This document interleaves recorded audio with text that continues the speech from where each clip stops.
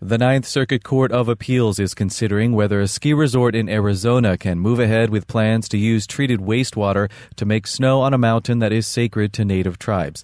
Residents say they are concerned over possible health effects, and indigenous leaders call it an affront to their religion.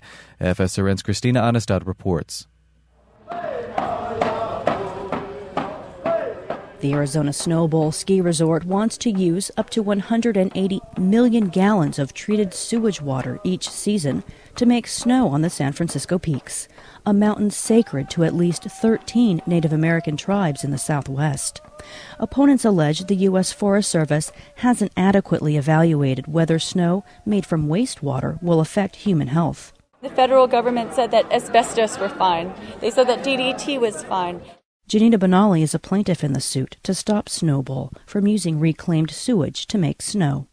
I don't want my children or citizens' children to be test subjects because the Forest Service failed to properly analyze reclaimed sewage effluent. As a precautionary measure, the Snowbowl and the U.S. Forest Service agreed to display warning signs at the resort, telling the public not to eat the snow.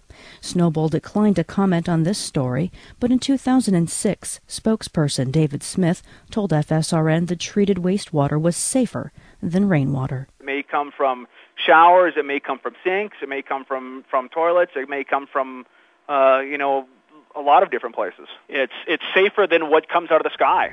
But plaintiffs in the Save the Peaks coalition disagree. Howard Shanker is the lead attorney representing the group of native and environmental activists. He says the treated wastewater contains a variety of toxins. Pharmaceuticals and personal care products, things that people excrete, like antibiotics in it that doesn't get treated out or tested for.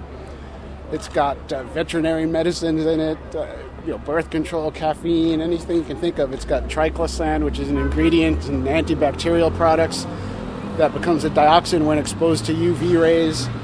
Treated wastewater is currently used in a variety of applications, including to irrigate farmland and parks across the country. But Shanker says Snowbowl is the first resort in the world to use 100% reclaimed wastewater to make snow. Native activists and tribes lost an earlier suit alleging the snowmaking violated Native American religious freedoms by desecrating the San Francisco Peaks, their sacred temple. But for Native Americans like Benally, who bathe in the snow as a ritual, that fact remains unchanged.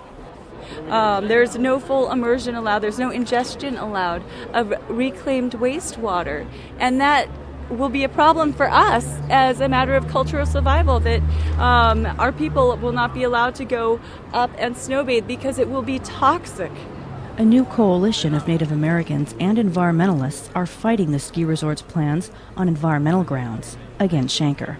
And it's really a shame that there's no law in place that protects the site simply because it's, it's sacred or holy to so many people. And it's a shame, again, that we have to be here in court trying to protect this site, trying to protect the people, trying to protect Mother Earth from our own federal government. The U.S. Forest Service declined to comment on pending litigation. The three judge panel could take several months to issue a ruling. A separate suit filed by the Hopi against the ski resort's plans to use wastewater is pending in court as well. Christina Aanestad, Free Speech Radio News.